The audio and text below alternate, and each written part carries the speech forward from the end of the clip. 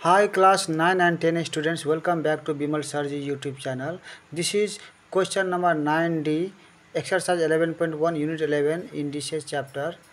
uh, you can check the playlist of Bimal Sarji YouTube channel. You will get most of your solutions of class 9 and 10, both optional math as well as compulsory maths with your exercise name. Playlist is created and you can uh, follow me in the Facebook page www.facebook.com slash bimalsajan. If you type this in any of your browser Opera, firefox or chrome you will get my facebook page and if you follow me in the facebook page then you will not miss any of my newly uploaded videos so class 9 and 10 students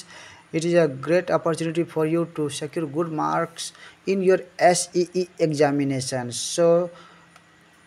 keep watching keep supporting and if you find this useful then give a sweet comment okay I I'm reading your comments daily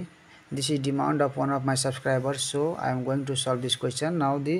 uh, this is uh, d number uh, i will not write this step once again okay you have to write but okay after this step you can okay what you can do here uh, this is uh, l square plus m square so this is the formula for what uh, this is here minus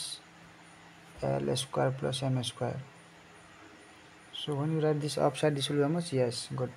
now you can write this as x to the power, this is l square plus m square. Okay, you can write this in the middle. Okay, no problem. And this is minus lm power will be here plus lm. Okay, this if you write in middle, okay, it will be in the sequence of formula, because a minus b into a square uh, plus ab plus b square form, and this is as it is l minus m into here is x to the power this is m square plus n square and this is minus m n over here plus m n and this is m minus n as it is again here is x to the power this is n square plus l square and this is minus n l will be here plus n l and then this power is n minus l okay now I will arrange this okay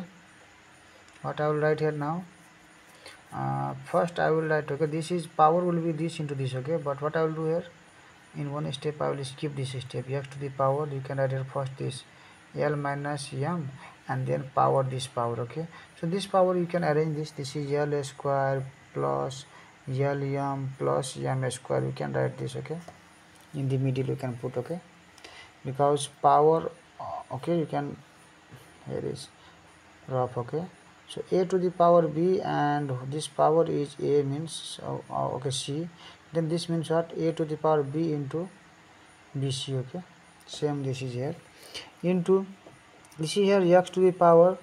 uh, again I will add this first okay this is first m minus n and into this part so this part I will write but in arranging form this is m square plus m minus plus n square. Okay, and then same way this part is here,